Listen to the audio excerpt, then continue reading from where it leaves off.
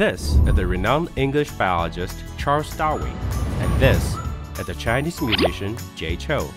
But today, our story is about them. Darwin wrote some incredible masterpieces, such as On the Origin of Species and The Variation of Animals, in which he mentioned a couple of times about the mysterious Ancient Chinese Encyclopedia.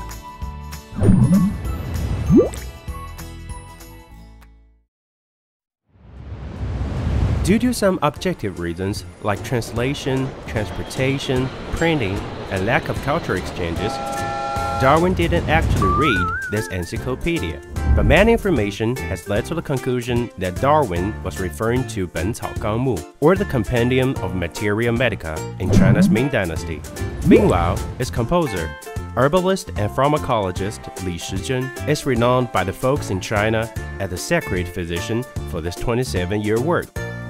In 2011, UNESCO has registered *Bencao Gangmu* into the memory of the world, indicating the ancient Chinese medical literature being firstly recognized by the world.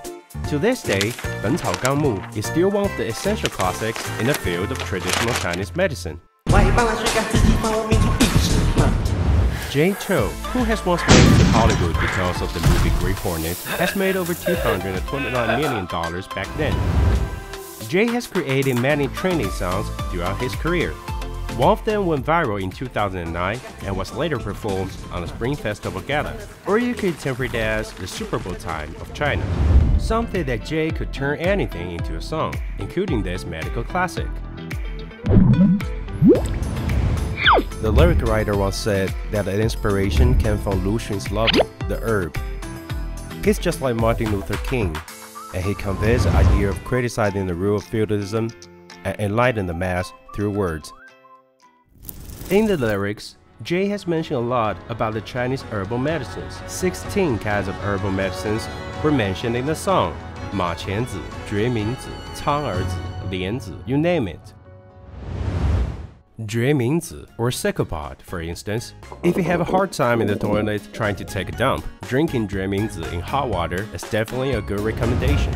Lianzi or lotus seeds tastes kind of sweet and astringent. You could boil it thoroughly and eat it to meditate your sleeping problems. Thus, farewell to melatonin.